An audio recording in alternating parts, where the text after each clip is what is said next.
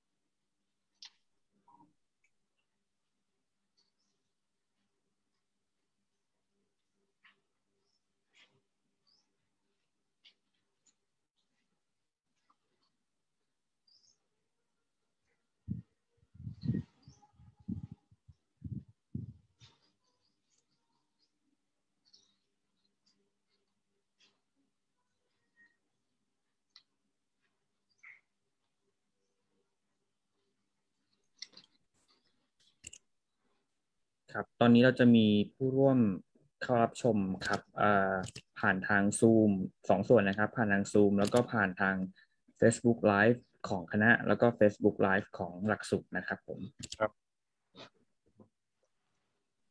คงจะมีคนเข้ามาเรื่อยๆนะครับครับงั้นเชิญอาจารย์ได้เลยครับผมโอเคครับเริ่มเลยนะครับ Good morning สวัสดีครับ Welcome to um, HRD talk uh, this morning. Uh, this is the um, 135th HRD talk program we organized thus far. It's about 14 years ago that we start this program. Um, I can remember it's uh, the first one about uh, was uh, on 13 August, the year 2008. It's quite um, quite some time, long time ago. Huh?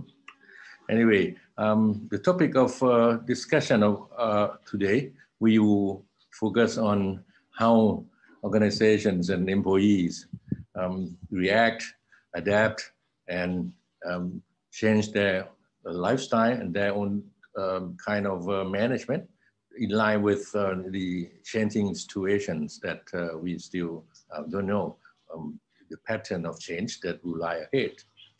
Um, anyway, as we already realized that uh, COVID-19 pandemic has affected us tre tremendously um, in every aspect of our life, uh, in, particularly in um, um health and in um, economics or business. Sorry, I, uh, there is a helicopter flying over my house. so that that have a strange noise. Anyway, we don't know when COVID-19 will end. And we are in time of really uncertainties as far as I can tell. Um, we don't know what our future is and what will lie ahead, especially um, this year and next year. So in this situation, I think um, it is good for us to, to to prepare ourselves to create a protection system or an immune system so that we can we can have uh, um, we can manage our risk. We can um, we can find other options or other alternatives in our life to survive. Organizations also facing the same situation with us. Um, they have to find way out. They have to work hard um, change the mindset change their business model or, and, and transform, so to speak, every, every aspect, every level of their organization in order to, to survive, um, to sustain. Uh, that's what we are now talking about. Um, today, I have with me three young prospective scholars. Uh, they are PhD candidates in our School of Human Resource Development at NIDA. Um, they will come, they would join, they will share with us their ideas on um, several angles or several perspectives on how organizations and, and employees or people in organization should react, should adapt uh, in order to be resilient. That's what I, as our um, topic of discussion um, today um, stand for. Um, let me introduce uh, each of them to you. I, um, I will start with the first one. Um, we have two ladies and uh, one gentleman here. we'll start with Kun Narisa Kubota. She, uh, she is a director of uh, uh, the global Gume system and company. Um, the second one, uh, Minghui Chen. Um, she's a Chinese customer manager at Landmark Hotel. And uh, the last person, Kun Egabut, Tang Shivin. Uh, he is a crew, uh, crew a cabin crew in Thai Airways International. And he also is a part-time lecturer at Kasem Bundit uh, University. Um, in order to not to waste your time, let me just um, ask um, our speakers to share um, his or her own idea with us. Let me begin with um, Kunarisa. Uh, Hi, everyone. yes, uh, Kunarisa, please go on. You will talk about business resilient in tourism industry um, during COVID outbreak. Uh, please go ahead. Okay, ka. Please let me share my PowerPoint. Yep. You're looking to uh, hearing uh, from you. Okay, can everyone see my screen now? I do, I do.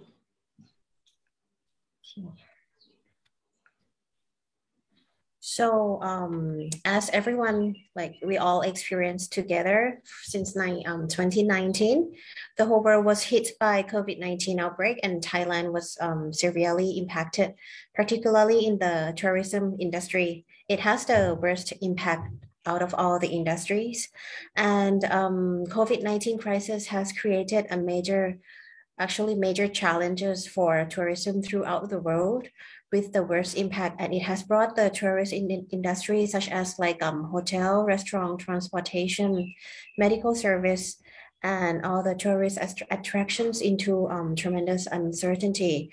And um, due to the travel restrictions brought by the Thai government, uh, as a response to COVID-19. Uh, this has led to a significant drop of um, foreign tourists and also um, which led to a shrink in GDP by 5%, particularly in the tourism sector. And this actually makes up up to 15% of Thailand GDP last year. And developing economies which are heavily depending on tourism are um, like for example, Thailand, Indonesia have actually the worst impact out of this. So um, during COVID-19 outbreak, um, a lot of organizations were facing crisis. So if we talk about organizational crisis, it means that there are high level levels of uncertainty, important issues, and time of urgency. Also, like at, uh, during the crisis time, the there's low profit, profit profitability and also like high impact event that threaten the viability of the organization. So during the crisis time, the response time is limited and also like like in many times there are many choices to be made in the decision making. And um, there were a lot of disturbances to, on an organization's daily routines. For example like um, manpower planning and cost cutting. Because like some of the employees may have to um, you know work from home so daily routines decisions have to be made. And it, this can intimidate um, the core values and cultures of the organization so the core concept in response to organizational crisis is the word business resilience.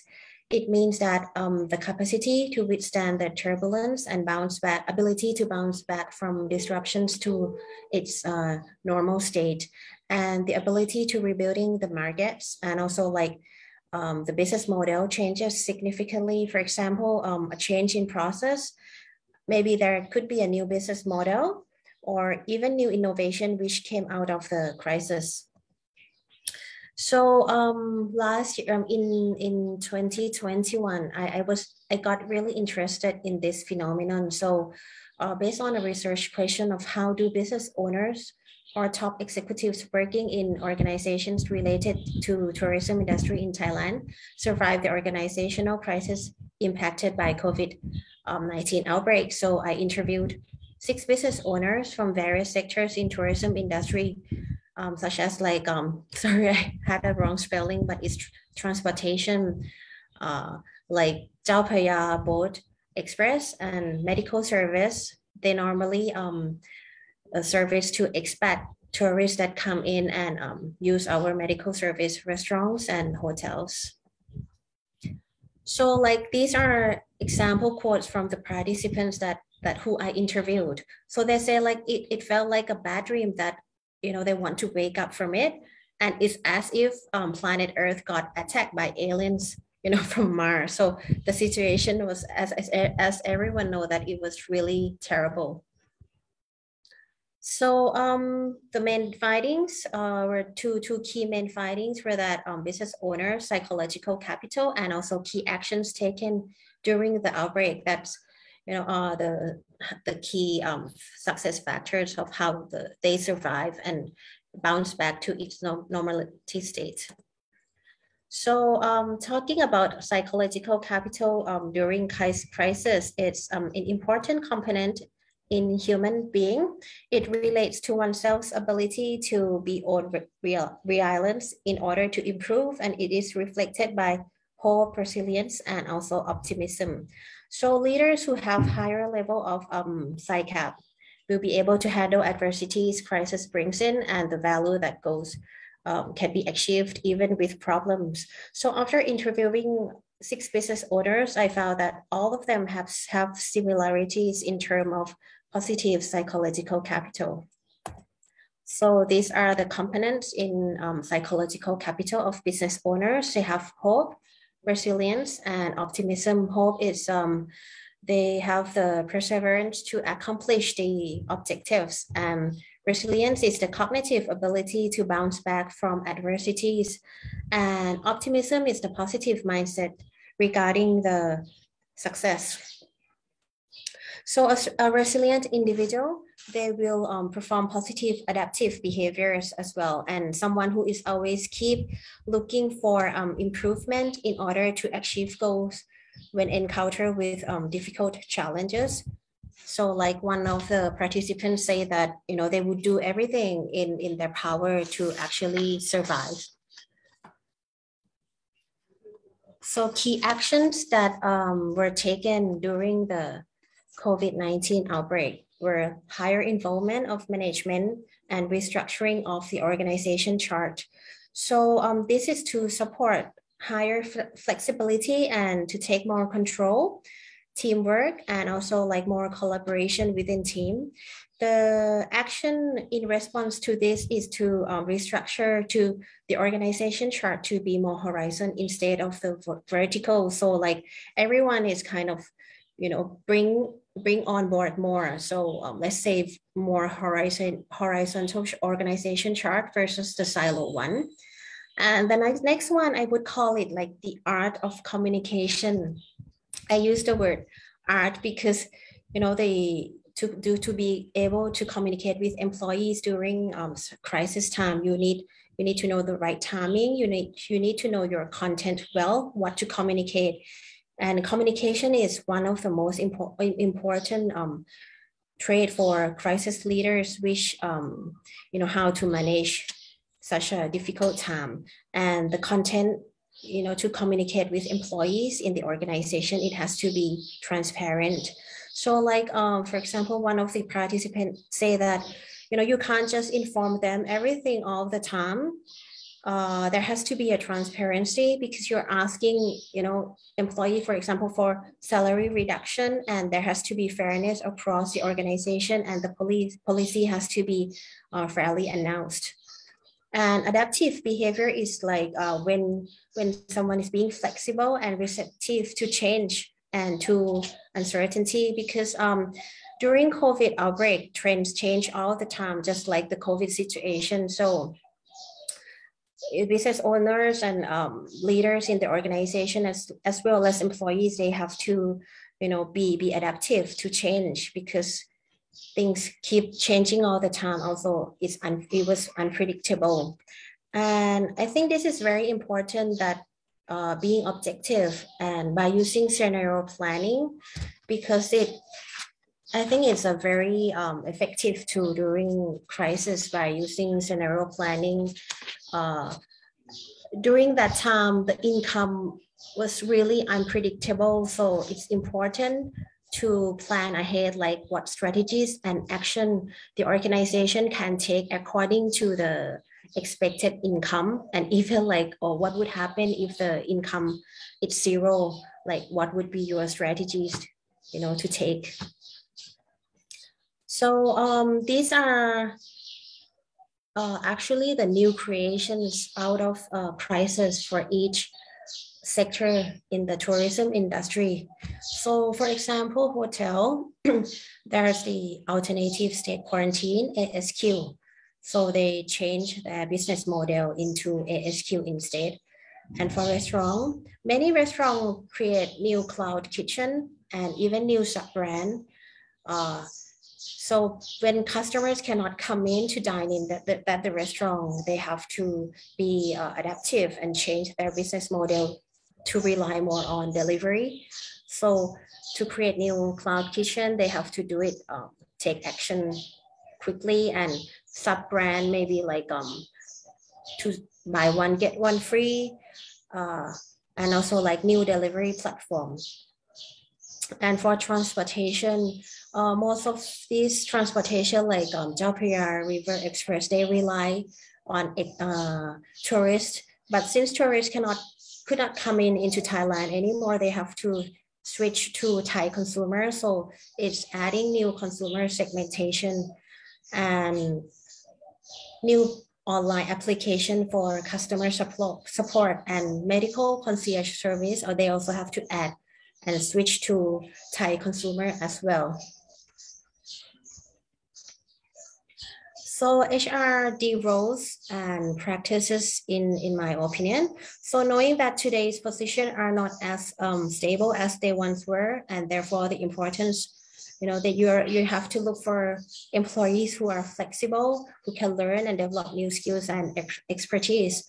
So um, for example, you may uh, have to look for someone who can be able to accept working or, you know, shift during weekend because in, in the past, some people may say like, oh, I will not take or accept calls during weekend. But when when time this when crisis happen and you, you really need someone who's who's flexible. And HRD can contribute through sense making communications in order to create um, psychological safety, uh, trust, job security through their emotional stability, uh, stability psychological safety actually decreases perceived in interpersonal risk and mitigates barriers to, to transform in the organization. So it's very important that you know HRD help to contribute trust within team. And um, since technology has the potential to transform work and organizations these days, I think HRD can support employees' use of technology in order to um, continue learning and innovation, as well as uh, organizational financial well-being and resilience. Also, um, workshop for job design and HRD practitioners can help employees to find meaning in their work and redesign their jobs to in a ways that align with overall organizational adjusted goals. After the COVID-19, organize, some organizations may change their you know, directions and goals, and there has to be um, new job redesign. And I think it's important that HRD should foster learning culture to better cope with organizational change, because um, even though like the situation get it get better, but um, everyone is still um, you know uncertain about feeling uncertain about the situation, whether there's going to be another lockdown and you know what would happen. So this all affect the emotional stability in terms of the job security and you know their future career. Thank you. Thank you, Kunarisa. um, for the kind of first round of uh, presenting your whole idea on how to be how to become how to adapt how to react uh, productively to the um, impact of COVID-19 and particularly you discussed about the role of leadership or leaders um, which I understand that we, we are talking about leaders at all level right? Um, not only at the um, echelon or at, not only at the broadloom well, um, listening to what you just said uh, reminds me of uh, something that I just discussed with uh, my friends in business uh, last week. Um, they are now quite worried about how how to create agility in their organizations. I asked him, "What do you mean by agility?" He said he expects that his people will would, will be able good enough to dealing with complexities, dealing with something uh, unknown, dealing with unexpected uh, demands of customers, or or think something something new, try something on. In other words, in our academic uh, term, he's what he's saying. He's saying that he he needs his people to ha have what we call um, growth mindset, right?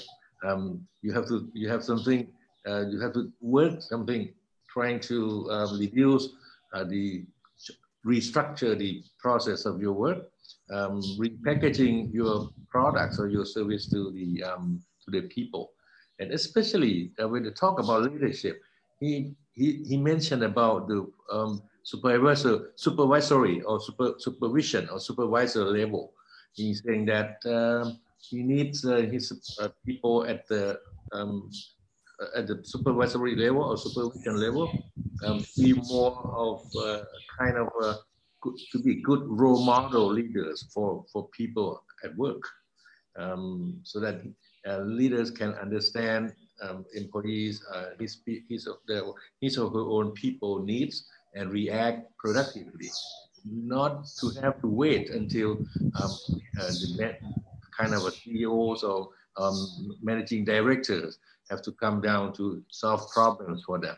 Okay, okay. Um, there will be some more on if I uh, continue my discussion with you. Again, I just like to wrap it up a little bit for our audience to get some points so that they will ask you later on. Okay, now we can have uh, questions and uh, some insights or perspective on that. Okay, uh, we'll leave Kunarisa here for a moment and we turn to um, Kun Minghui uh, she would uh, discuss something about um, work from home mother, about informal learning, which is quite challenging, how we have informal learning at home effectiveness from the perspective of mothers themselves and from the perspective of the organizations. Uh, Minghui, please um, uh, have your time. Go on. Good morning, everyone. Thank you for sharing time with us. Um, let me just put on the PowerPoint. Uh-huh. Can you see the slides? Uh, yes, I do. Okay, so I will take the time. Um, today, my topic is about the informal learning and mainly in the focus of the home-based mothers in a time of COVID-19 pandemic. Um, if I may remind all of us that exactly the same time two years ago, it was the 20th of January 2020 that uh, China officially reported to the World Health Organization about the coronavirus mm-hmm.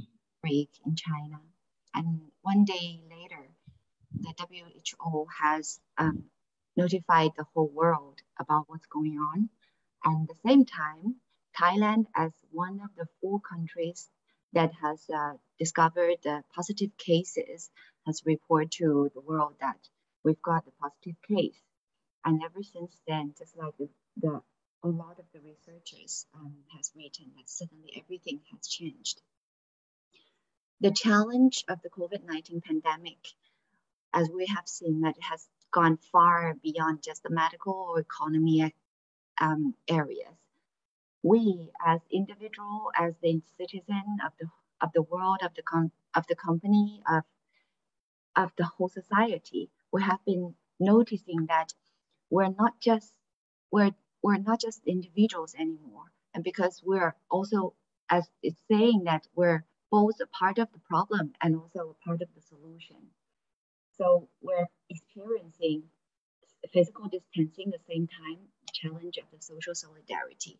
So we're all trying to balance our life out. And like never before, we were required to understand many new things. For example, immunes, infections, resistance, vulner vulnerability, all of these things, even microbiology, who would think that this would become our daily topic? So we have been overwhelmed and overshadowed with what is unknown over our on already known knowledge. We're challenged. Um, from the report of McKinsey, that we can see that they this is the report from 2020, so it's a bit late now. Uh, what they said is that the future work, even in 2020, it has been brought to the present. What was saying is that COVID-19 has accelerated everything, accelerated especially the technology development. We have experience in it. We have been doing this on the side, on, on a on internet. Everything has been trans, transparent. Everything has been doing faster than before because we can do it from home, from internet. And employees, organizations, even the nationwide has responding to this crisis in redesigning the whole system. So the system has changed. Our life has changed. Everything's digitalized. And we have been practicing the flexible work arrangement, which mainly in the way of the remote working. And it has brought a lot of um, impacts, uh, impacts to our daily life, both pros and cons. From the pros, we can see that um, we have been, been getting better flexibility in meeting both the combination of the running a family, also um, we can have the career at the same time with a lower cost of work and however, the disadvantages has come along. For example, we have a higher anxiety of the daily life. We're facing a burnout, and a lot of people are facing like mental health problem and physical problem. And um, at the same time, we, we've been, if I take the look on the group of women, even though a work-life balance is not a new topic. It has always been there throughout all of the industries, and it has been impacting us since there's working mothers or, or working women's. Um, however, COVID-19 did bring unique problems to this group of people. And for example, take academic mothers, for example. In this report, it says that this uh, paper research, it says that during COVID-19 pandemic, remote working becomes this 24 hours a day and seven days a week in company with children and other family members. And academic mothers are multitasking constantly through switching back and forth between cooking, cleaning, writing papers, teaching, leading meetings, homeschooling, and changing diapers. Does that sound familiar to any of you? So even you don't have to change diapers, we, we might notice that we have to switch back and forth from working and maybe cooking or something. So home-based mothers in my um, in my research, I, have I've been including both of the group of people that are full-time mothers and working mothers. So full-time mothers mainly refers to the ones that has forego their formal or regular paid jobs and staying home mainly for caring for their preschool children. And then for the working mothers, we know that they have the both identity of worker and mothers. So mothering, like we have uh, seen from a lot of um, ideologies, is that it's a particular when children are young, it's a full-time job. Full-time job, we mean that it's both um, labor intensive and mental intensive and emotional cons- um, cons- it's very men- absorbing. And working uh, laborers or working mothers are just like all other uh, workers it takes the same identity, but it takes both of the identity at the same time. And uh, let's take a look at the fe female labor participation in general. So it has been dropping for the female labor participation rate from 1989 to 2018. The rate has been dropping from 51.3 to 48.5, and it was uh, pr predicted an even lower rate on 2030 at the at the number of 45.9. So female labor participation rate has been dramatically decreasing. And it was in another report uh, from UN Women, it says that prime, prime working age women are least likely to be um, participation of the labors because uh, especially when they're living with a household of extended family with young children. And more other books, for example, Lean In, which is written by the CEO of Facebook, Sheryl Sandberg, is saying that 43% of highly qualified women with children are leaving the careers or off ramping from the period of time. And how, however, um, among all of these women, 43% of the women, they have the high intention to return to the workforce. How about the female labor participation in the time of COVID-19? We've been seeing that more women one in four women are considering downshifting their careers or leaving the workforce. If anyone have the experience of caring for the schooling um, age to children during the COVID time, may have the same consideration because of the online learning system. Like all of the children, if they have to learn at home, we have to we have to really manage the time with the children and also set the space and set everything ready for it. It's not um, once for all sort of job. It's an everyday job. Therefore, many many women are facing the same problem and considering leaving the job or workforce. And also, a special situation about COVID-19 has brought challenges for women in healthcare um, industry, in the service industry, education industry who are featured high female employment rate. And because of the online learning, it has increased the needs for childcare at home. And especially with all of these women with increased workload and increased childcare um, stress, they have been facing a lot of unique difficulties. And a report from uh, a research from a Chinese researcher, Xiao, and says that um, a lot of people are facing decreased physical and mental well-being after working from home. So uh, the number we can see from the slides is 54.8% respond, uh, respondents reported new physical problem. 73.6 has re, um, reported mental issues. On why we talk about informal learning. So I'm, if I may, I may um, jump to the the 19th, a little history about the education and learning um, revolution. So ever since the globalization and ever-changing modern market has been impacting everyone, um, the concept of, ed of education has has been changing and evolving. It's been changing from something more stable and more institutionalized sort of education, which one can acquire once and for all, have been shifting to something more fluid that has been has to be renewed over and over again in an even faster and faster speed. And also, um, Robert Kegan and Lisa uh, has understand the, the learning needs. What they say is that are located in a com- context of increasing complexity in both, both both in terms of the level of knowledge available and in terms of the mental system required to deal with a more complex knowledge, which is like the demand and the supply of knowledge are both increasing. Then the learning needs are also increased.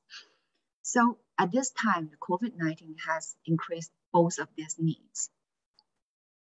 What we, we are facing is now that we, we need to update our com competency to deal with our, our both life and work. And then we can see that learning is not just a co cognitive matter, but also the total personal development of capacities relating to all functions and spheres of human life and there's more talk, uh, more areas of the uh, informal learning. It says that why we have to take the form of informal learning because we simply just don't have the time to enroll in the formal classes in our everyday life or every new stage of life. We can just go to the school and learn it and come back to leave. It's like we can learn swim um, just by, you know, before we we need to go into the school and then come back and learn swim. We have to do it the same time as in water. So if we're living in a learning society, much of this learning is related to unpaid work. And also the benefits of such a learning remains almost completely unfulfilled. So uh, a, a, learning expert, Illeris, says that the fundamental primary function of learning is one of the most basic abilities and manifestations of human life. Now, um, learning has become even more important than ever. And talking about learning, uh, informal learning, we need to see the structure of learning. Um, in the Livingstone's research, that he's um, identified different research of learning by pre two two kinds. One is the pre-established one, and one is situational one. And we can see that informal learning or informal informal education mostly um, located at the situational learning part. However, we can also notice that a pre-established body of knowledge and experiential learning are sometimes they happen together at the same time. Therefore, the identity of the learners and teachers and is also interchangeable. So it's very hard to identify what exactly informal learning is. So therefore, Livingstone has given this definition. It says that any activity involves the pursuit of understanding, knowledge, or skill which occurs without the precedence of external imposed uh, curricular criteria. And it includes both self-directed, collective, collective informal learning and informal education and training. At the same time, learners and teachers are often interchangeable. So why is informal learning tended to be ignored and devalued um, by dominant authorities and researchers?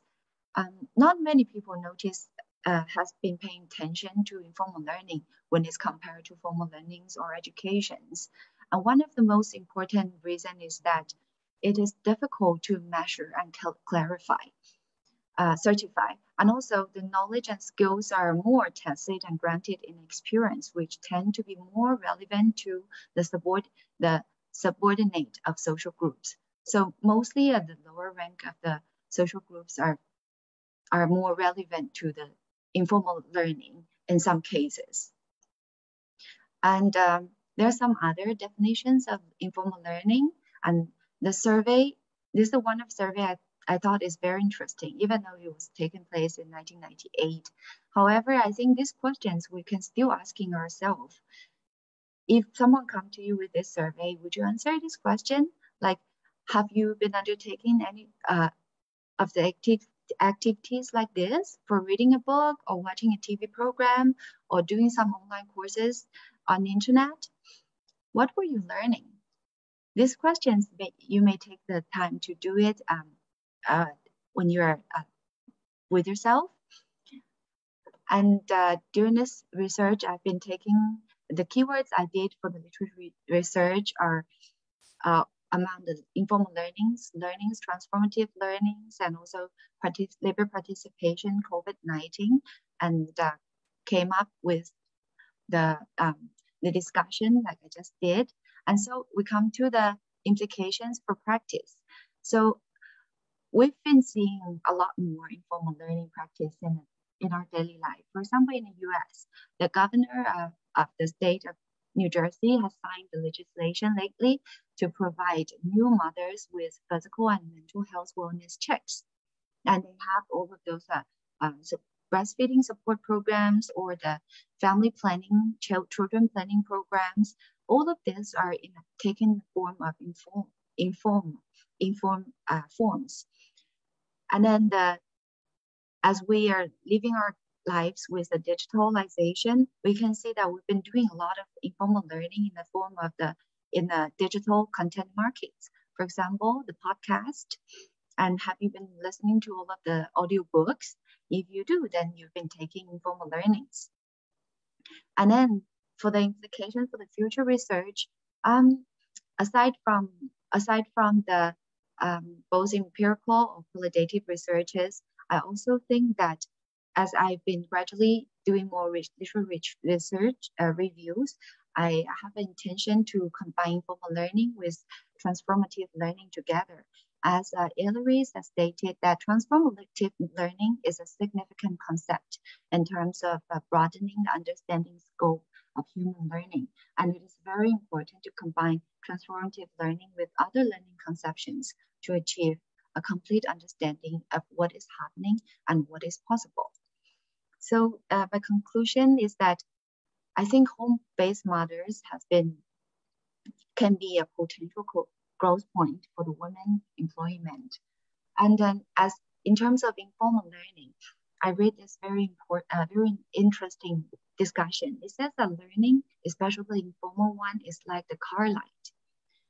When, if you have been dri dri driving a car in the in the nighttime, you may see that a car light might be able to just cover the range of 100 meter or 200 meters of the range. It, it cannot cover the whole whole darkness in front of you. However, with a car light, it's just like the informal learning. You can you can drive for millions of miles. So embrace the learning informally. Thank you for everyone. Thank you. Thank you, Minh Hui. Quite interesting presentation uh, indeed.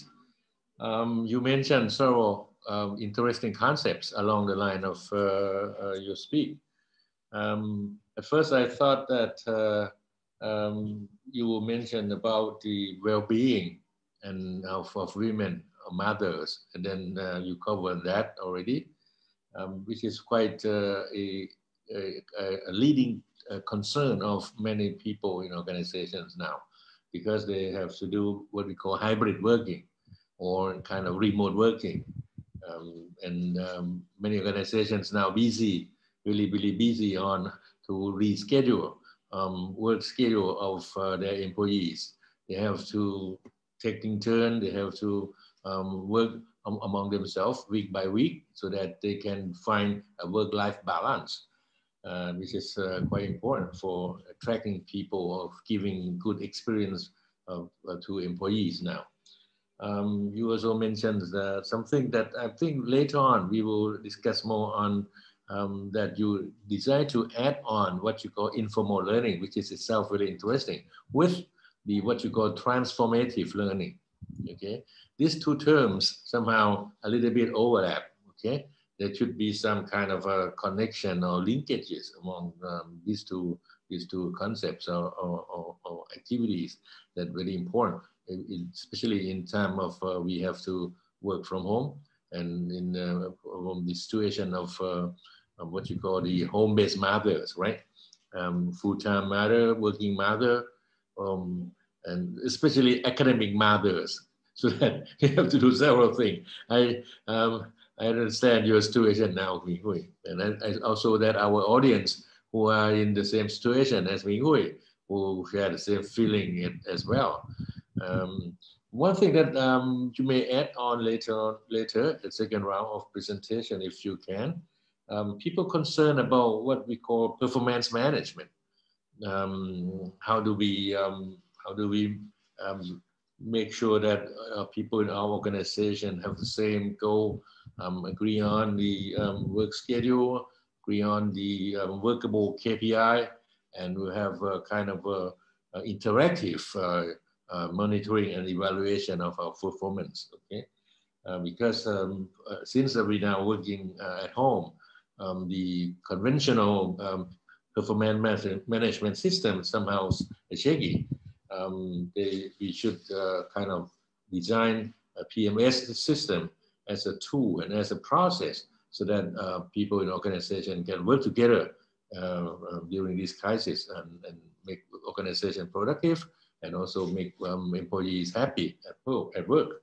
Okay, if you have time, uh, we'll come back and please mention all this too uh, in, from the perspective of informal learning and, and, and, and home-based methods, okay?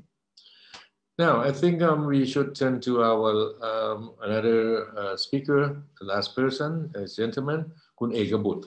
Okay, Kun Ekabut will share with us um, what, what I, think what most of uh, most employees now are concerned themselves, how they can keep their work, how they can keep their jobs, right? How can we make uh, their work productive so that they can be a, a, a, a kind of a, a, positive or kind of a, con, make a good contribution to their organizations. So Kun please share with us your idea on um, the topic of uh, the, the um, career resilience, please.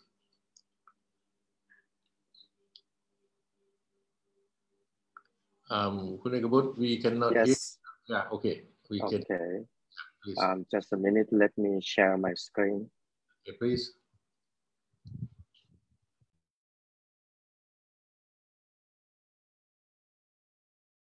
Wait a moment, let's see. No problem, take your time. Okay. Can you see my screen? Yeah, I do. Yeah. Yes. Um, Good morning, everyone. My topic is the, um, the role of HRD for the career resilience and career sustain, uh, sustainability after COVID-19. So um, the COVID-19 pandemic has been widely determined to be both a health and um, economic crisis with updates of progression addressing losses of lives and jobs. And as countries and organizations begin their evolution from initial reactive surprise at the scope and depth of the crisis to strategy for recovery, opportunity arise for change. So McKinsey Institute, which tracks global economic trends, suggests that COVID-19 has moved the conversation about the future of work into the present, underlying the need for a long-term perspective that does not just rebuild from past model, but develops strategy that create resilience for future career, uh, for future crisis. And at this point, there is much we do not know about our future following COVID-19, but we can expect change in how, where, and even when work is accomplished.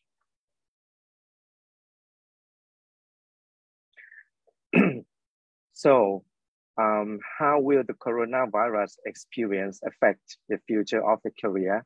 For example, for the, uh, for the question, will there be a rush of people choosing to be healthcare provider or will more students seek careers in biological science or pharmaceuticals to create medical tests or vaccine for the future pandemic? Or the most um, shocking one is, will the rise of online learning reduce the need for the teachers. And while we do not know what types of job will thrive, survive, or become obsolete, we can speculate on what we might expect from a recovery by observing data and trends. And early adaptations for returning to work sites have revealed changes in facilities and interaction patterns for service as well as manufacturing sector jobs workplaces are revamping interiors into uh, accommodate social distancing, even when working directly with the public is part of the job.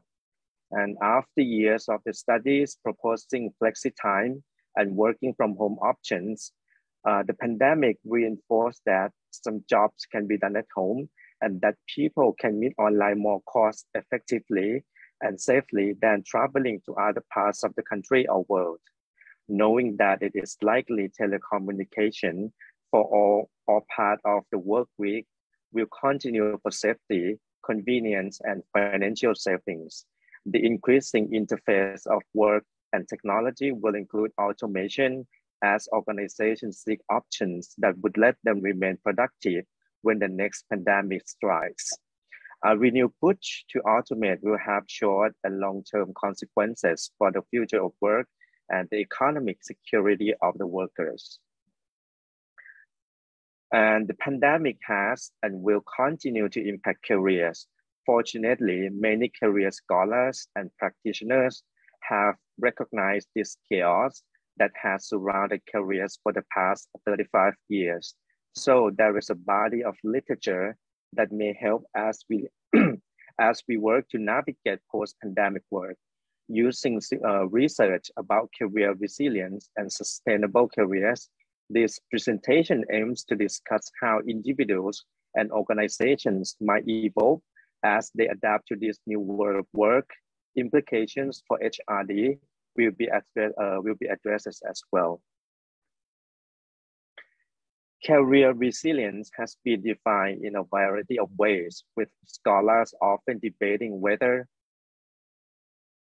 oh. Hola, mis híbrido gang. Los What, quiero. hap what happened? Besos y abrazos a la distancia para todos ustedes. What hap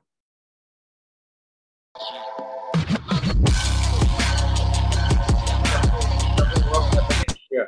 Um, what um what happened? d- uh, should be some uh, interference from somewhere. Uh, uh, Kun um, uh, Kun Kao oh, Kun Wan Wan Wan are you here? Are you on um, meter? Um, yeah. Yeah. What what happened, Kun Kao? It should. Uh, can you can you make a kind of firewall? Yes. Yes. Yes. Or you bring that into view. Now, that's all right. Should be okay now. Um, please okay. continue. Let's continue. Okay.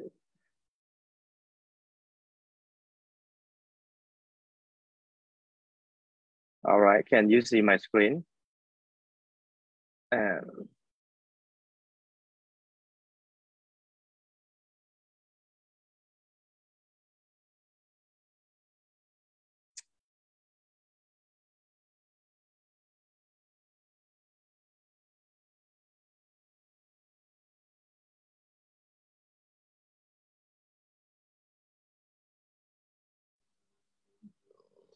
Okay, Kun please go ahead. Yeah, just a moment.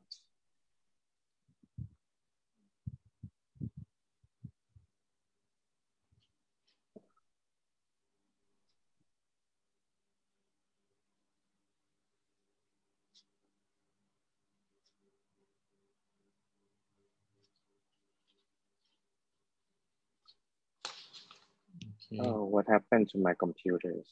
Oh, just just a few minutes. I, I'll, I'll fix it. okay uh, Sorry for that. you can uh, you can move your slides Yes. Um, Mm. Okay. so um, Yeah, let me start this um, uh, slide again. The career resilience have been uh, have been defined a variety of ways, with scholars often um, debating whether it is a trait, capacity, a process. Yet um, the most recognized one it is about adapting and persisting when faced with the disruptions or adversity, and acknowledge it is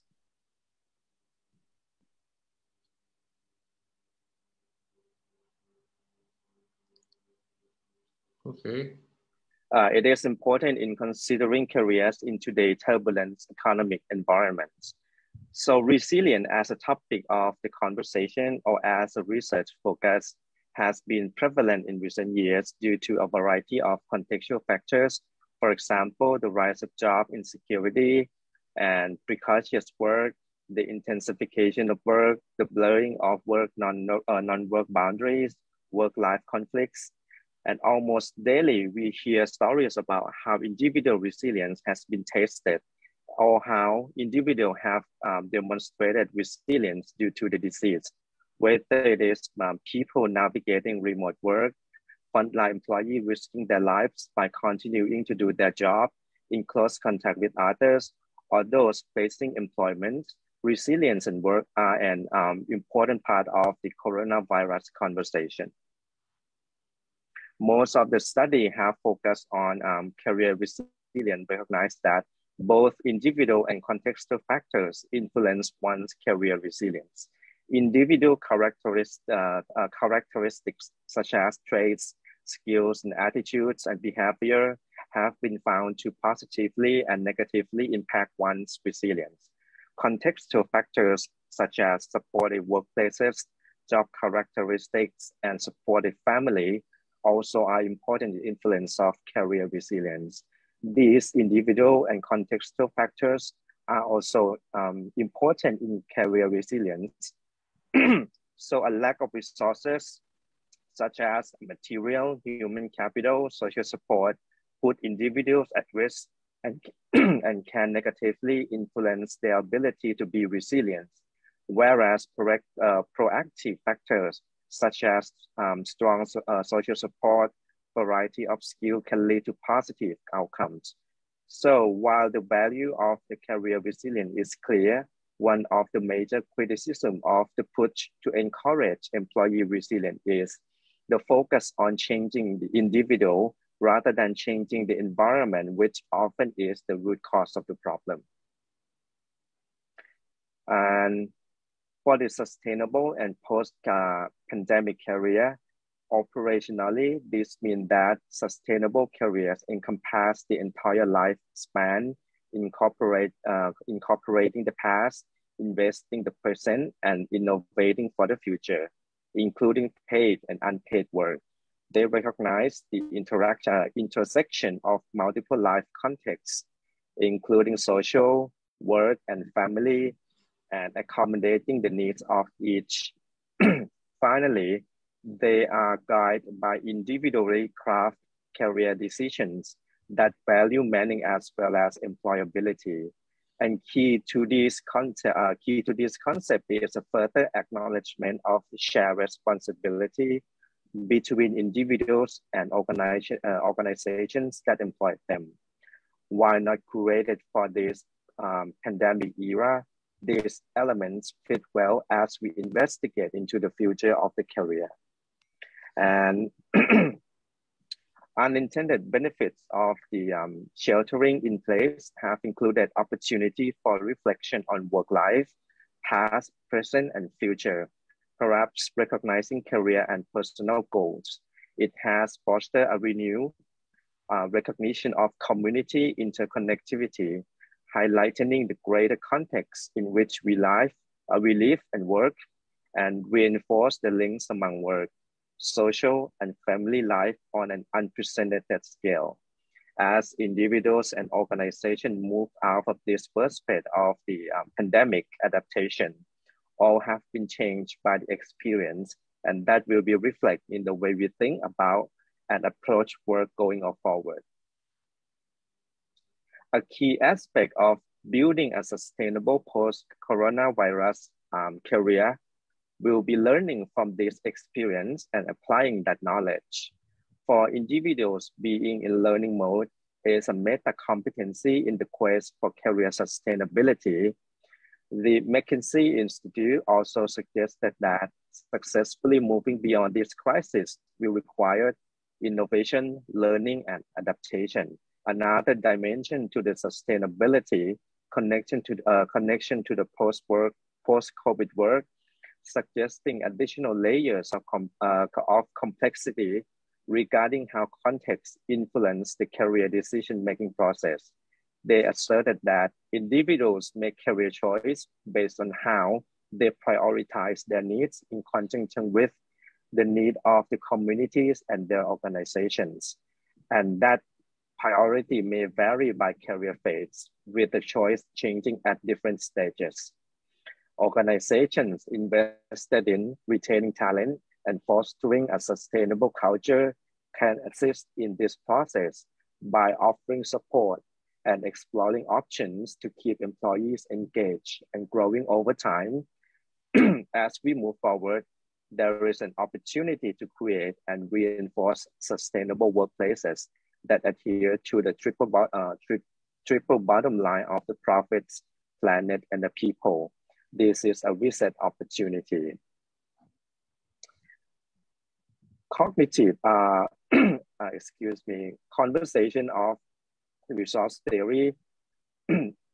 Uh, this theory was develop, uh, developed to explain what happens when individuals are confronted with the stress.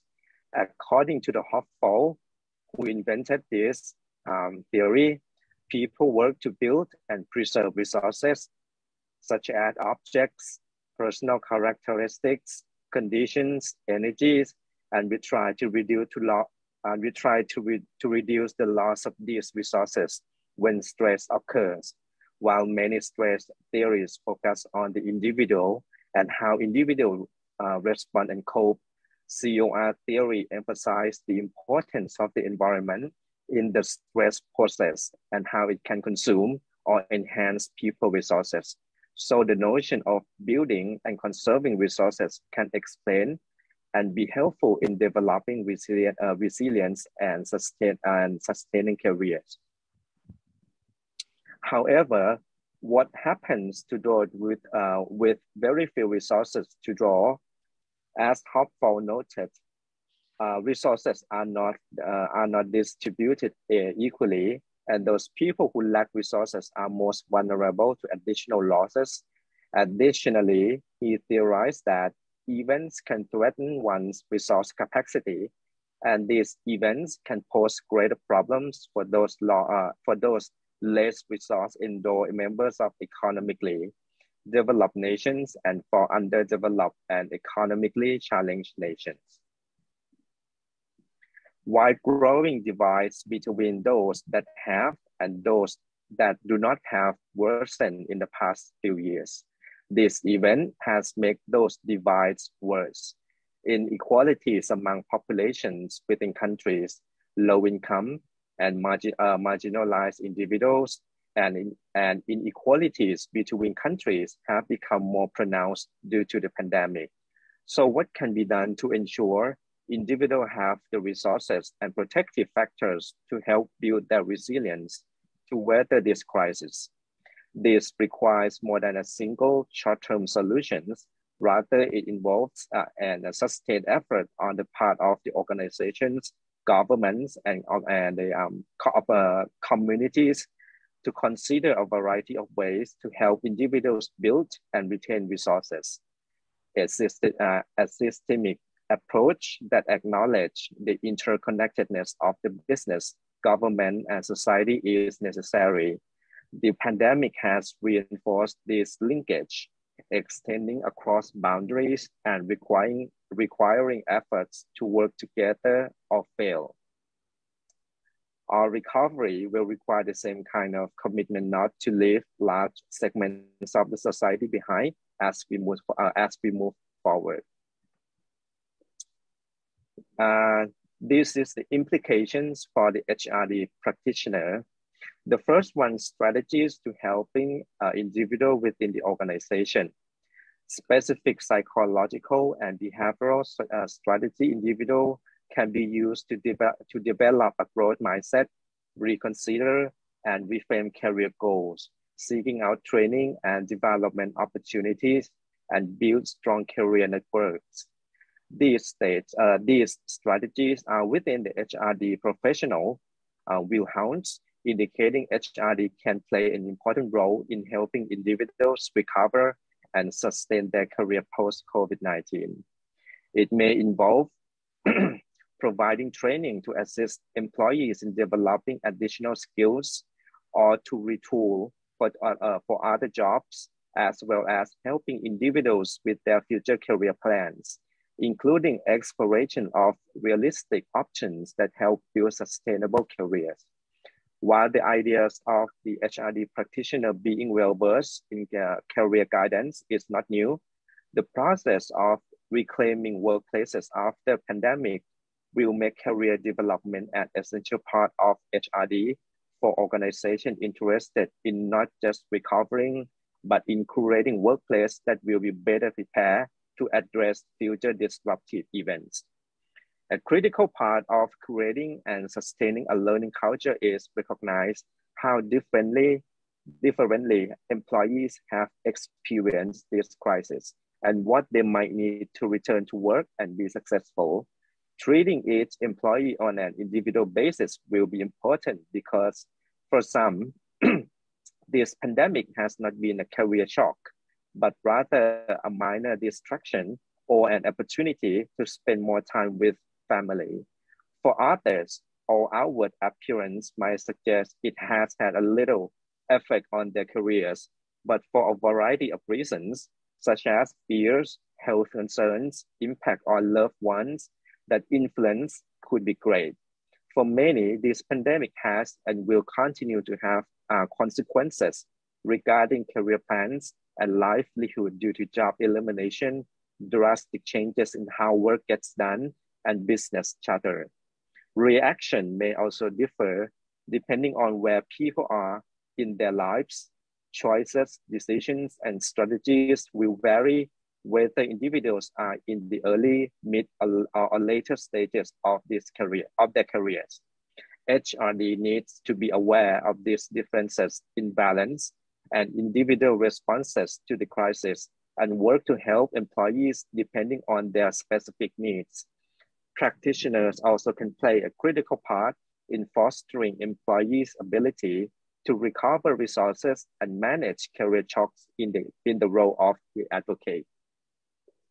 For the supporting within the organization and communities, there might be difficulty and risks for HRD, but supporting can be strategic and major.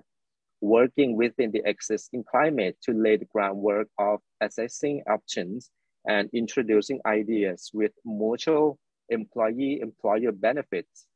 As systems begin to ramp up work again, many already are considering protocols and processes, making this an ideal time for HRD to encourage, uh, encourage change. A timely target for HRD um, supporting could be a review of salary and health benefits disparities among employees.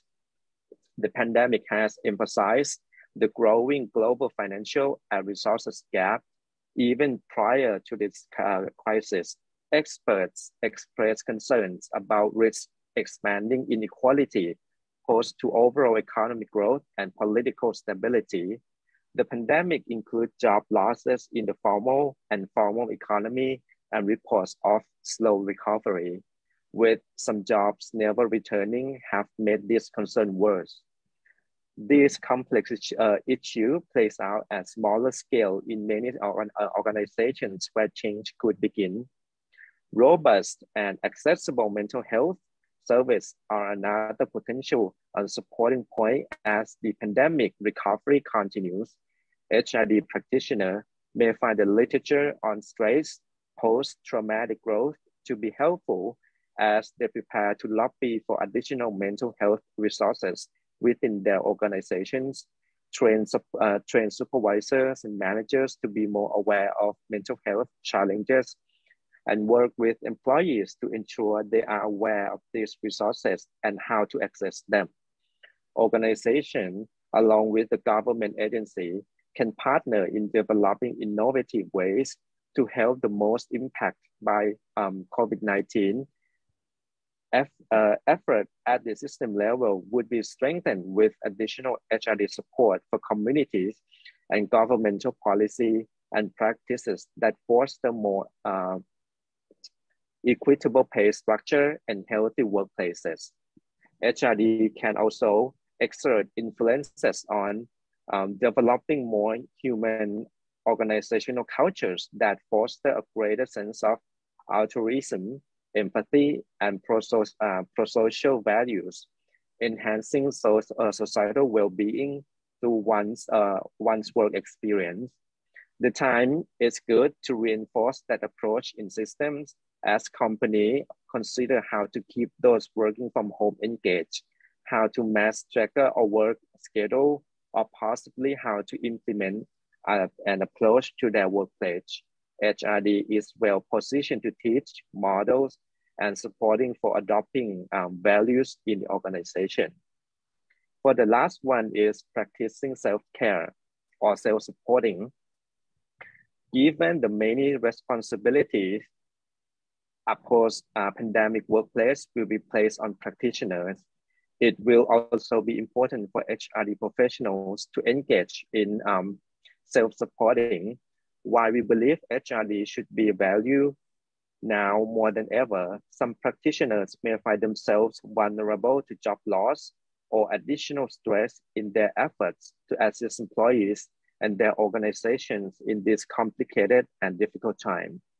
Building one's own resources to ensure resilience might include focusing on learning and expanding and enhancing personal skill sets, seeking the support of others such as friends, family, colleagues, uh, colleagues, and online communities can help with the emotional and, so, uh, and social needs, as well as with learning. Additionally, attending um, to one uh, physical and spiritual needs during this time can be helped with coping and the uh, burnout. To sum up this presentation, it is human nature to want to know, to seek answer, even to look into the crystal ball for a quick look to the futures. Times of uncertainty increase uh, that need. COVID-19 has prompted a global sense of uncertainty, but the legacy remains to be seen. So what we know is the pandemic is still going on, but what is still unknown is the speed of the, of the recovery and how particular job sectors will be affected over time. The variables are too much in flux for definitive numbers at this point. Careers and work are always in the state of change, with some jobs becoming obsolete and others emerging to meet the needs of each era. So um, while COVID-19 has been a painful experience and choice about the future of work into the prison can be recovered, but it will take time and efforts. Therefore, HRD, uh, HRD has an opportunity in this moment to play a significant role in helping individuals and organizations fighting and supporting resilience, uh, replenish reduce resources, and build more sustainable career cultures. Thank you for your um, kind attention. This is all for my presentation. Thank you very much, Kun Ekabut. It's quite interesting presentation. Uh, I learned many things from you, especially um, I, the, the, importance of uh, job insecurity um, that I think every employee is now concerned with himself or herself very much how long that they can keep the job in organizations, right?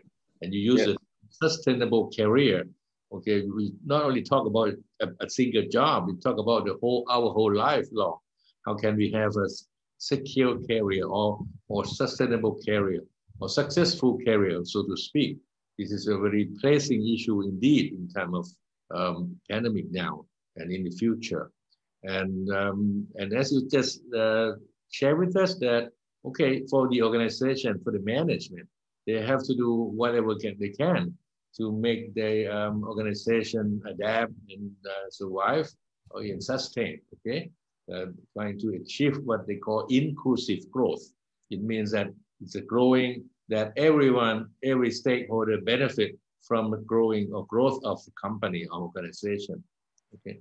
And from, from, the, from the, for the part of in, employees, uh, you share with us that it's to uh, in order to survive, in order to be secure in the, your job, you have to be become more innovative. You have to learn something new, just like Ning Hui talk about informal learning. You have to do some uh, like uh, a kind of adaptive, um, flexible person, adaptive. It means that not only reactive but proactive, trying to find new opportunities, new ways of working or thinking, and work together with other people. Uh, but lastly, that I uh, you presented your presentation uh, make me worried. It's about the role of HR people, HR professionals. Uh, it's a, it's a really a huge pressure on HR people now. How do they help their fellow employees uh, and help their management uh, to, to, to, to pass through this time of turbulence, this time of difficulties, right? And, um, and, and, and listening to you, I realized that this is not the kind of uh, um, unfortunate or um, the bad, bad luck for HR people, but I rather think it's a, it's a new opportunity for HRD or HR people to do something, something new, something more valuable, something more productive, especially when you talk about the implication for HRD, um, not only helping individual um, employee, but also um, create a kind of a learning ecosystem in organization, um, making a kind of a good um, culture, a new culture, a sense of empathy, um, help, helping each other and help and, and work together in the, along the line of uh, value chain. And and, and also organization have to have to what restructure or, or or redesign itself so that you, you can be a good place for that people um, can can share ideas and can work together, uh, can uh, set up a new strong network or even bring in a new technologies to become more of meta meta metaverse uh, or meta organization, so to speak. Okay, I can go on, on and on, but uh, this is something that I can learn from you uh, listening to your presentation. Now we can have uh, questions coming up from our audience. If uh, if uh, uh, please feel free, our audience um, and um, who are now with us online with Zoom. if you have any questions, comments, please feel free to um, to present or to write to our host. But again, while we're waiting for questions and comments, uh, let us uh, turn to um, um, Kunarisa again for kind of a second round. You may have something that you left over, you, or you like to, something that you like to uh, put more emphasis on, or or you like to, to say uh, something uh, more about the the, the implications of your study in tourism industry on the HRD practitioners or HRD people. Um, I have nothing to add right now. Um, I have nothing to add right now, but uh, maybe like I can um, chime in when the, you know, all of us articulate ideas or questions. You think that in in uh, may I ask you um, on behalf of the audience, um, for you, you you you tell us about what's happening in tourism industry, which is quite worrying and uh, we need a new kind of a new business model on uh, tourism in Thailand or even in, in any country in the world now. And um, and people now quite shaky though. I mean, in terms of uh, employment in uh, tourism industry. And for those um, who work as HR people, uh, can you can you just uh, name or just tell us that um, what would be kind of priorities that HR people in tourism industry should do at this moment? I think like um priority in terms of HR, like as I mentioned just now about agility of the business. And I agree that I've seen um a lot of um business that has low agility. Mm-hmm. And when there has to be a strategies and um, any execution that has to be made, it's it's there's a, a lot of delay. Okay. In terms of um, actions that can be made because um, decisions has to be have to be made through many people. Okay. Oh, so, you mean you're saying that many many uh, tourist uh, um, companies still structure in a kind of a hierarchical structure, right?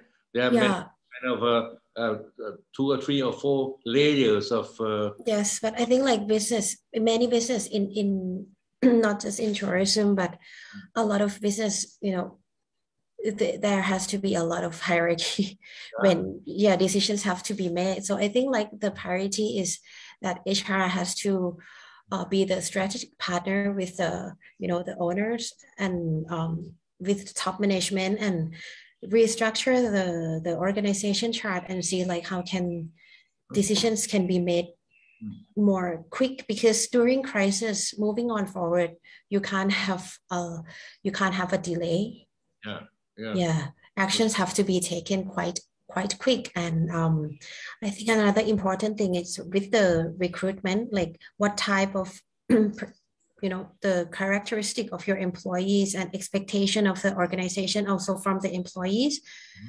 in terms of flexibility working with the company because my like for example my uh, one of the participants say that you know they actually expect employees to work around the clock. I mean, it sounds unrealistic, but during crisis, it actually it has to it has to be that way. You have to be able to, you know, stand by and be ready. But but not not not not everyone, you know, like expect that. You know, I have to work around the clock. I have to answer the phone during the weekend. Mm so there's i think there's a gap in expectations between employer and employee. So as an hr how can you close the gap between employer and employee in terms of flexibility of you know the working time? Most most most owners I, I know would would expect that their employees to you know they they, they always complain that you know my my my um, employees complain Yeah. that I call them on the weekend. Mm. But I also understand on the employee side that they don't want to work on the weekend. Well, but in, during this time of difficulty, everyone should understand what that uh, we are in the kind of a, uh, in the in the mad sea. Um, we have to help each other. There's no time to rest, right? You know, to survive. Uh, Yes, yes, but on the um, not everyone is on the same term, and not everyone is on the same understanding. Um, I think like the ownership of the business, the feeling of the ownership of the of the business is also different yes. between um, employer and also with the employee. So I think as an HR, um, I think we we really have to look into this and you know how how how can we all work as a team and close the gap Yeah. of this expectation. Because every all the business owners i know they all complain that you know my employees complain when i call them on the weekend but it's emergency hmm. it's crisis. Things have to be done quickly. And there's no weekend no weekday when we talk about survival of the business. Hmm. Sometimes things cannot wait. Okay. Mm. Uh, Do you think that uh, people at the what you call middle level manager or the at the um, head of a section or supervisor level, it's important in how how good that supervisor can react or can help or can make uh, employees or their people understand of the urgency of uh, of the company's situation. Yes, that's why I, I mentioned in my presentation that it's about uh, the art of communication. It's not effectiveness anymore. It's like the art of communication, how you communicate, communicate and convey people to, to understand that we are all on the same boat. It's Mhm. not you, it's not me, it's not, it's us together on the same boat. How can we com- co- uh, convey that message?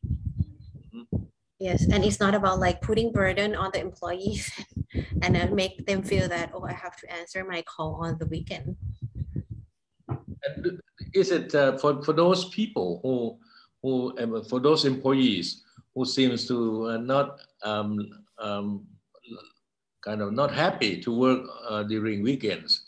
Do you do you think that the the issue of generations is involved here? I mean, kind of young people they more Yes, I think it it could be possible because like um I don't want to generalize, but okay. Yeah, no, no, we, we don't yeah, say that, but we just we just make an observation instead. Okay, for that, yes, yes, yeah, they would expect that you know work life. I mean, everyone expect work life balance. Even employer, no one would want to work on the weekend. But during crisis and emergency and crisis, Mhm. you know sometimes it's unavoidable yeah it could be the generation gap but i think like communication plays an important role Mm. it's all up it's not it's not about like you know using um law and regu- regulations and it's not just about like using money to convey people i think like how you convey the message and the leaders be the role model and convince and influence people to to be on the same boat you know that's that's important Is this uh, is this uh, is there any cultural issue here, minghui If you follow our discussion, my discussion with Kunarisa, we talk about in the Thai context, right?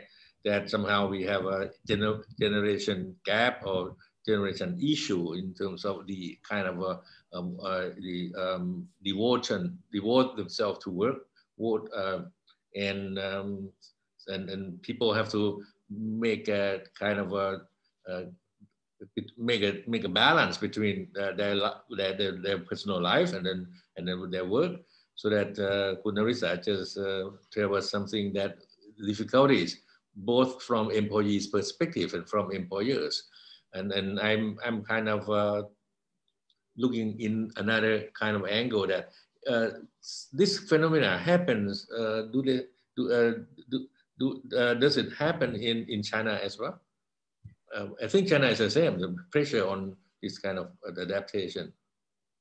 Yes, actually, if I may compare the situation now, um, if you if you watch the read the news sometimes about China, maybe you can notice that there's a small scale of outbreak of COVID-19 recently mm. in Xi'an. And then we had a lockdown the whole city, the overall city for a whole month. Yes. And when we're talking about lockdown in Xi'an in China, it's not the same same understanding of, of what we do in Thailand or any other countries.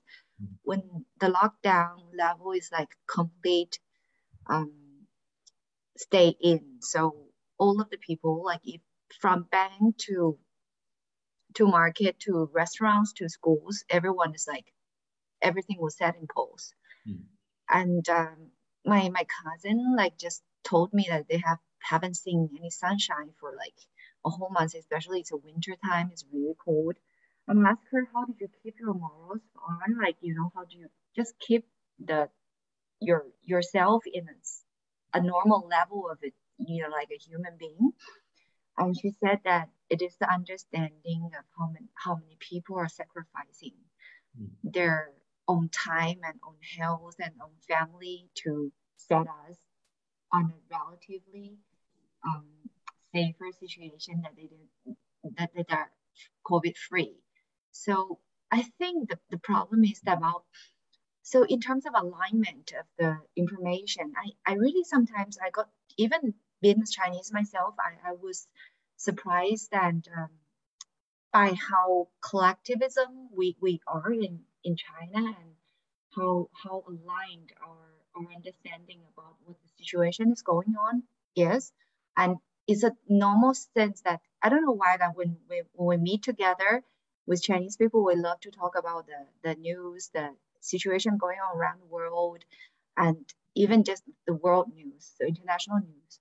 Like in US, if we, I, I may compare at the same time, if you say lockdown, you have to stay at home for a whole month, not coming out, you can imagine what's going to happen there. So it's, I think the cultural differences really make it um, make influence on people.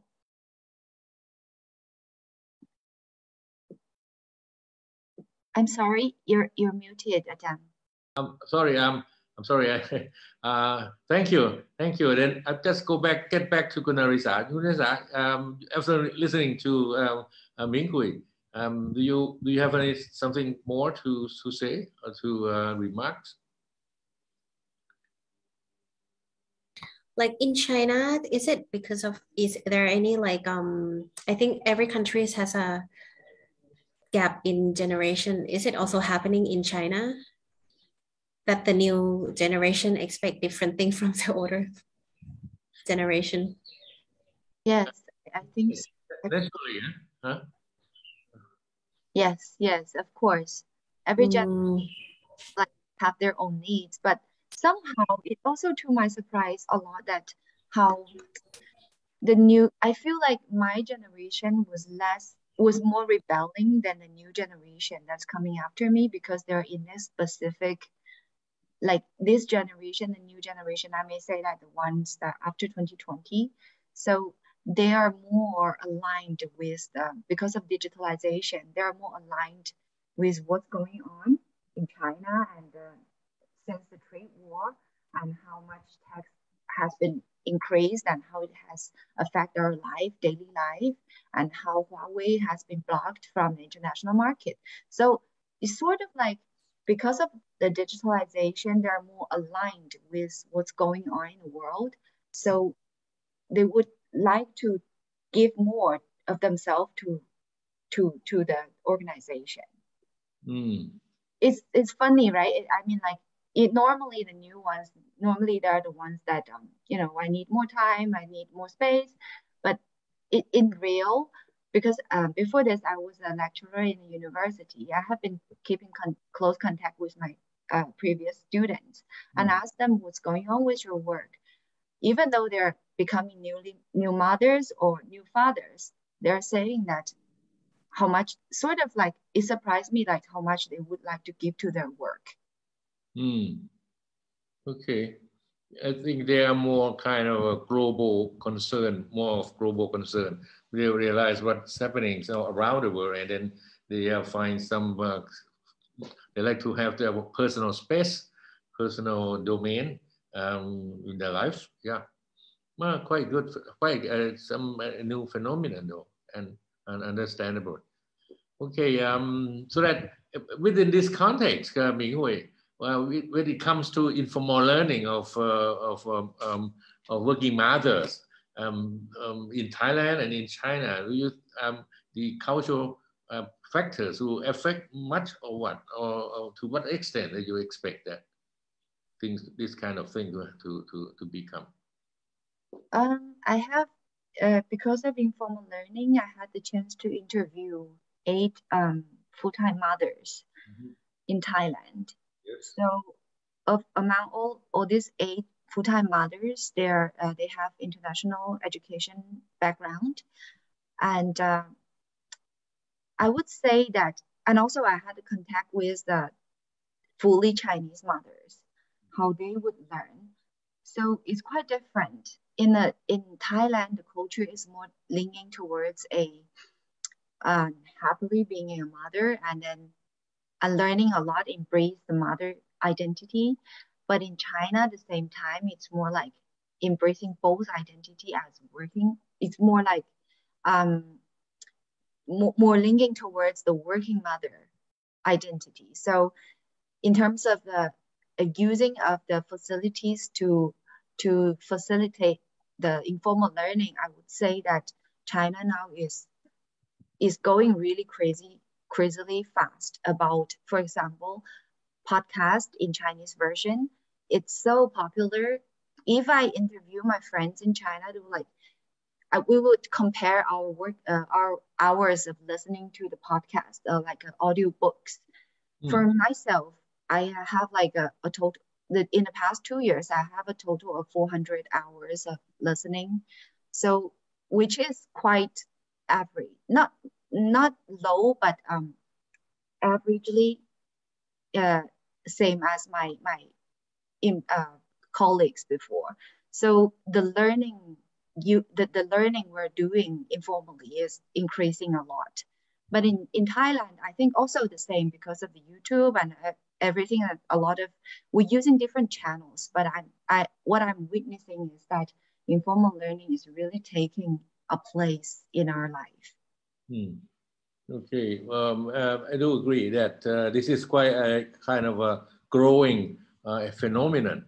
Okay, uh, for the uh, informal learning through um, many social many social media channels, like you mentioned, a podcast, uh, which is something that gives you a kind of a really um, substantial learning. So in many many subjects, I myself just turn in log in to listening to um, many podcast programs, um, variety of ages.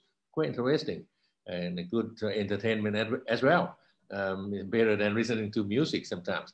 Uh, anyway, but um, but but uh, for, for, for, from this perspective, from this uh, kind of phenomenon, uh, if we if we look at look at this thing from the perspective of uh, of the management organization, we, we provide them facilities, we we appreciate that uh, working um, uh, kind of uh, home-based mothers uh, involve themselves in uh, informal learning, and they still um, deliver um, performance to us. How can how can we provide kind of a, a support um, as as we stay far away? We're not see face to face every day. Um, and how can we extend as a from organizational perspective? How can we provide a kind of support um, to these uh, um, working mothers? And how can we kind of uh, make sure that uh, uh everyone that still uh, our employees they realize that they are they are treat uh, they are being treated equally by the organizations especially in terms of performance evaluation things like that. Um, um, um could you share with us some of your um, ideas now? Yes I actually i really agree to kunarisa she yeah. question about art of communication. Mm. Uh, as Ajahn introduced that I, I also have a job as a working part-time as a Chinese customer manager in a hotel. Yeah. So I, I had a chance to interview the general managers of um, uh, the hotel, like Yes. how how how we went through this, especially in Thailand when the tourism industry has been hit hardly by COVID-19. So Yeah. the rollout phases um, of how we how we hit the break even, and then from that how we pick up the our performance, and so um, I would say that it was such a hard wall, but um, with the art of communication, especially the, the, the use of line groups, that really, really did change the whole story. Like, because um, I would say that a new hotel, uh, Lancaster, Bangkok, um, at the beginning, I would say like not everyone knows each other. But after COVID-19, that um, the situation forced us to, to make use of line groups and people start to chat in the groups and then they start to become more familiar with each other Hmm. compared to before covid time and then this this new uh, term as uh, used by deloitte it says the, uh, the talent opportunity the talent market so then we start to get to know better about each other's talents Hmm. and especially for the mothers. So what happens is that people are more of aware of the time time zone of each other. And so for sometimes the shifts when they cannot attend they would um uh, they would help each other automatically. And also um, as the organization is has been providing more support to the to the employees for example the vaccine and the insurance and even small like uniforms Mm. when when uh, as as everyone knows that how much cost um, like uh, sensitive it is during the COVID nineteen, and then when the managers realize, oh, the the the new the new generation they require, for example, that when they work in the gym, they require a new uh, uniform, and they the, the the manager tried so hard to get it for them, and then that really changed small things like this changes the game, and Mm. it makes the employees feel more belong to the hotel and that they feel like they're they're secure with this place. So when um, I remember I, after the after the interview, I had a presentation with the one of the class. So uh, the general manager said that um, after COVID, our our staffs are more proactive and more coordinated and more engaged with, our hotel. One of the reason I suppose is they feel safe with our hotel. We did not lay off anyone because of the COVID. So that was the uh, before the fifth wave. Okay, it's a, such a good example of uh, um, your hotel that you're working with. Um, they have uh, really generous and they um, extend every every every means that they can do to to hold their employees together. Um, so that waiting for um, rising sun. Then when it comes, uh, when the new when the new sun, when the when the sun comes up in the next morning, they, uh, they get ready to go. Okay, but uh, but another point that uh, before I get uh, turn to Kun Ekabut, I'd like to ask you um, Kun Minghui, that um, to me as a as a layman, uh, when listening to um, your presentation, that uh, self uh, informal learning of uh, of um, home-based mothers or um, um, economic mothers who, who have many things to do at home, including work and including uh, other kind of uh, household chores, then it's somehow I'm, I'm concerned about psychological wellness. Um, the because people we are human, um, we need in, in, in social interaction. Even though we stay in, in a house, at home we have our our um, I mean uh, family members, right, to talk all day long. But uh, we we kind of uh, we miss something. If we go to work every day, we we will find our boss, our friends, our customers, everything, and and we hear other stories, which is much sometimes um, much serious, uh, more serious than ours. Then so we forgot uh, our problems, right? And but but now everyone every um, work mothers, almost every every work, working mothers, stay home and using this kind of uh, uh, social media to contact and and, and self uh, learning, informal learning. Do you do you think that uh, this kind of kind of um, um, stressful or um, psychological problem happens to um, um, home-based mothers at all? Definitely, definitely.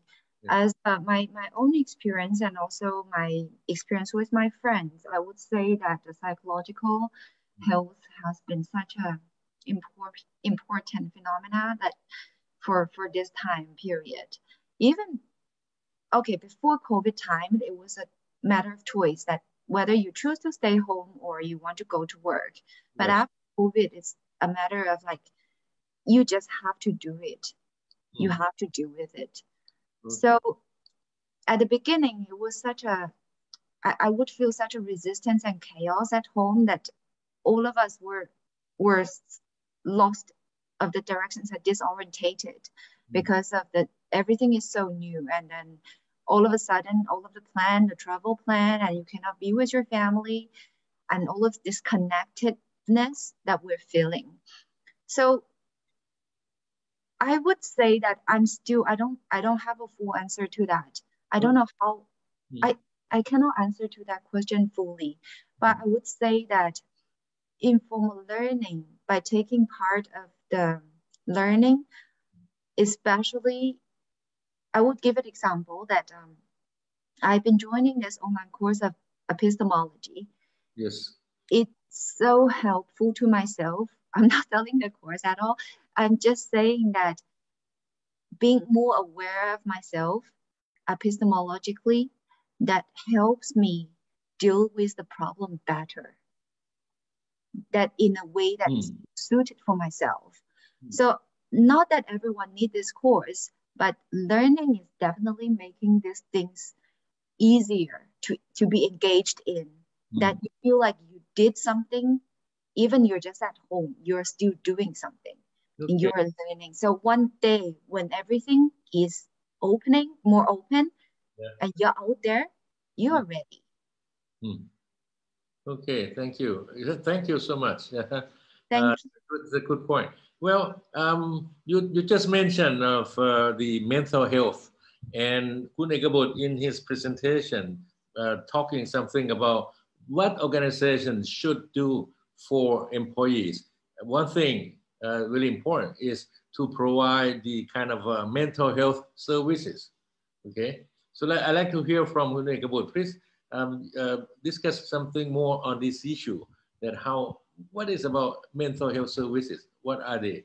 I'm um, kind of a may, may have a kind of personal uh, counselor, or or you have an, another kind of test or another kind of something of uh, of, uh, of kind of activities that that, that people um, need to do together in order to to be um, in a good uh, health, mental health. Uh, please share with us some uh, of your ideas on this.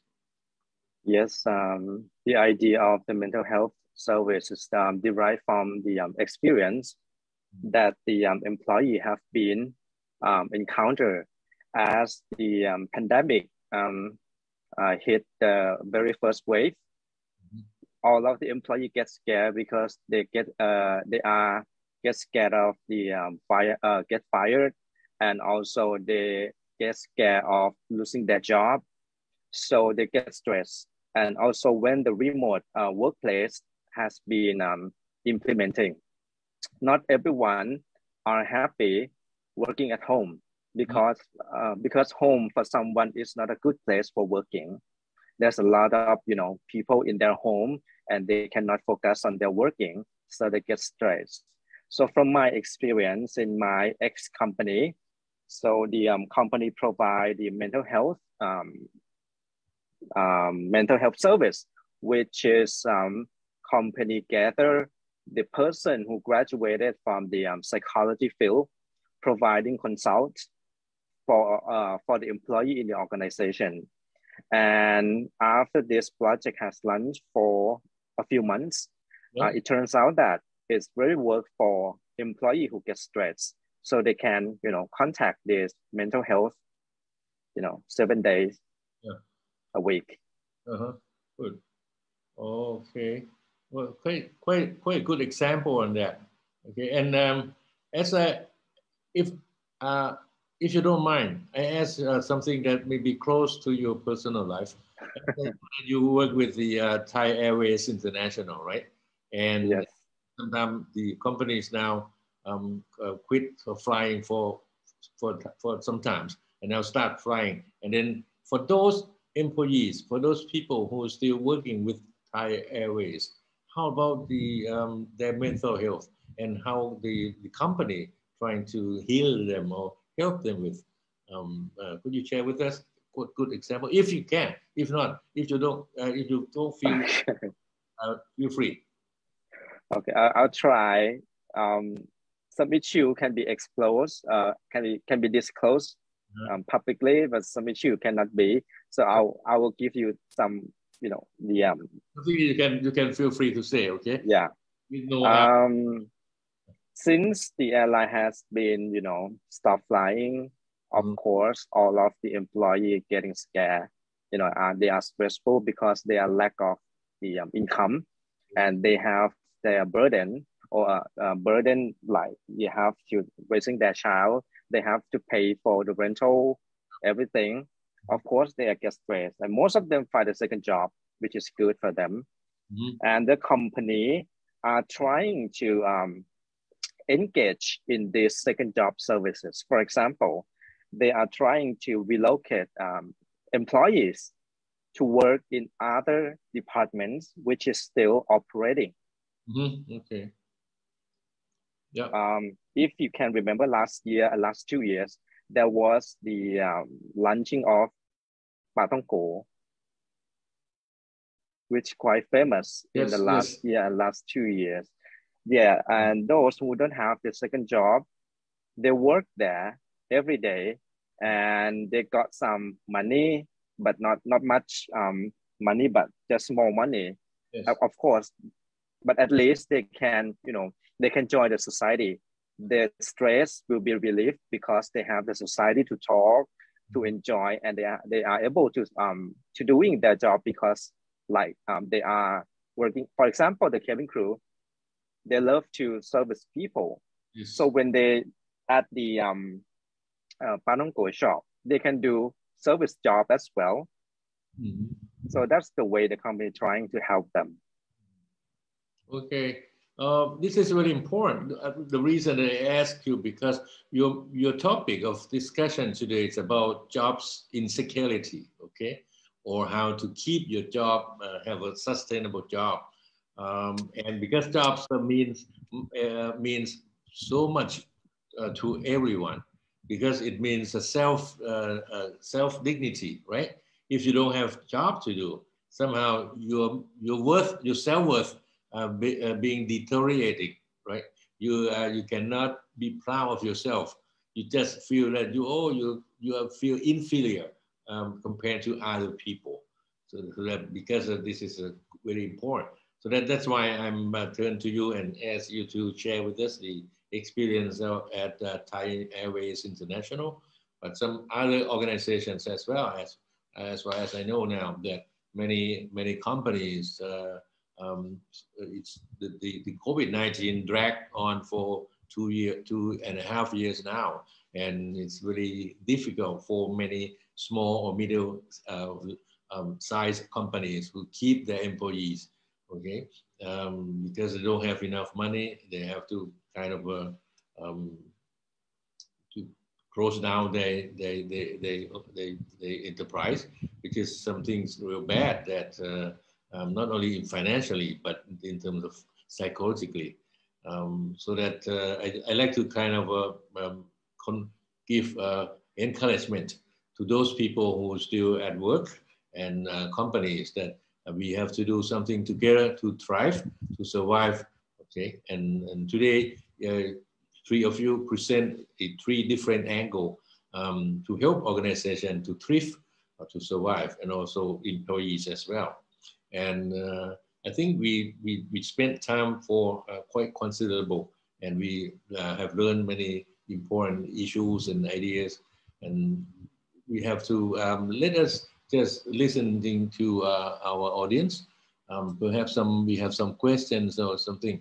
Um, I have to ask Kun uh, Thirapat, Kun Kao, uh, do we have some questions, uh, uh, written questions or something that uh, you can uh, ask our uh, presenters?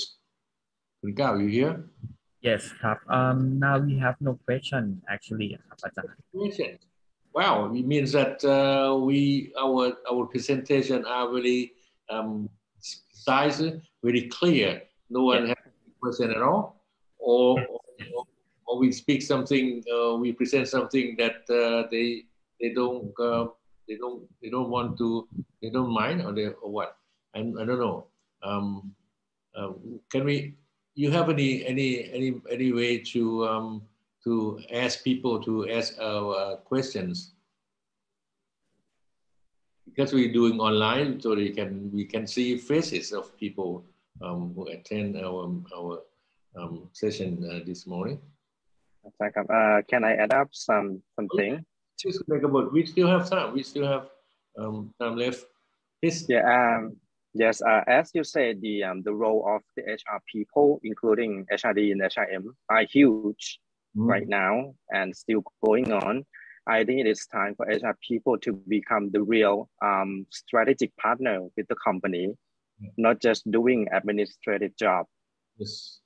And also the um, uh, in in case uh, they have to um, when whenever uh, sorry when they um, when they become the strategic um, partner with the company to create what we call the, what you call ecological system they Mhm. have to um, communicate and working with other depart, uh, departments to create the um, the the one um, um, society or one um, ecology that really work and happy, trying to be the uh, happier happy workplace, and whatever they're trying to do, whatever kind of strategy that they are that they want to create, they have to do based on the um, employees' well-being.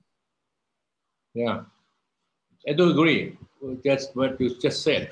Um, I think um, for HR professionals, HR people, now they, they have to kind of uh, work more proactive. They have to act like cheerleaders. You, you, you can say that we have a, you can see when we have games where we need cheerleaders, right? Um, people now, I mean, employees now, everyone somehow or another, they are not in a, uh, in an easy situation. Uh, they worry much about families, about their jobs, about this and this and that. Okay, it's time to share up, and also it's time to um, HR people uh, should work as a kind of a linkage, a kind of a bring people together, and and and and and, try to find and, and try to support them or, or, or facilitate them, um, make make make the employees uh, think like entrepreneur. Okay, uh, you when we talk about entrepreneurs, entrepreneurs are those people who comes up with new ideas and can successfully turn those new ideas into productive actions. This is what, what we need in organization now.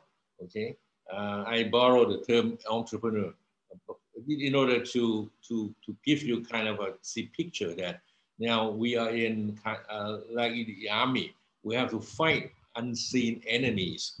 Okay, we have to be ready. We have to we have to think about something out of of the boxes.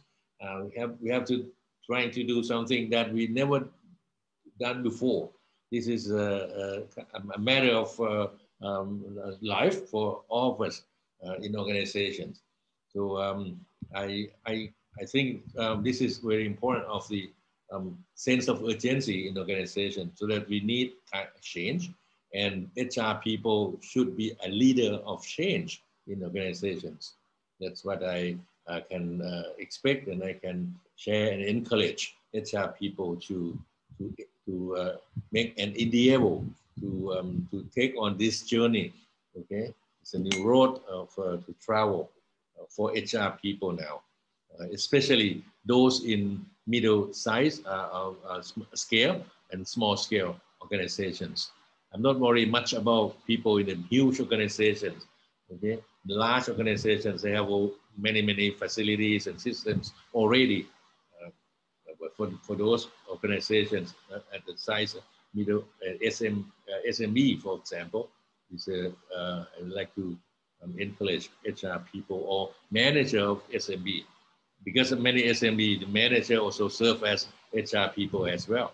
I mean, they cannot uh, uh, luxury enough to hire um, HR people to help them in organization.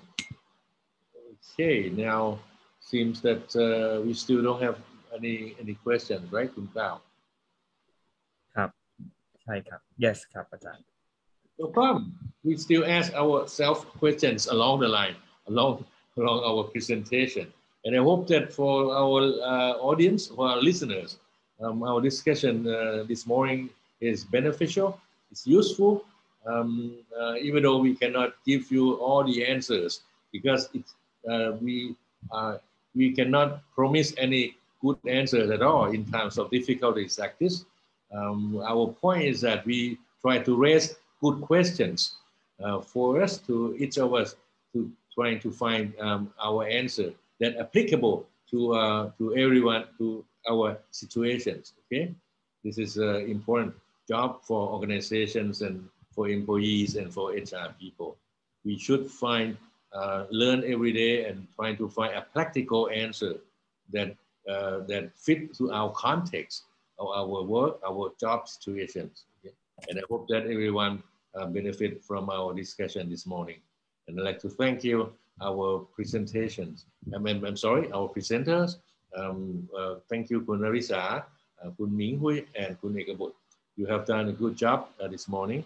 And, um, and uh, I think that uh, uh, we have done our uh, 150 so this HR Talk program today is quite a successful one.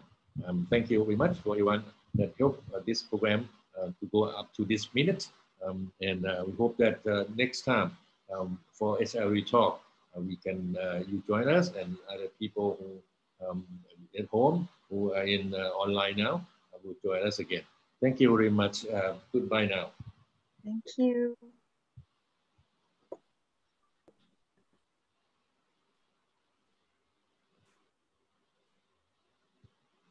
Goodbye. Thank you.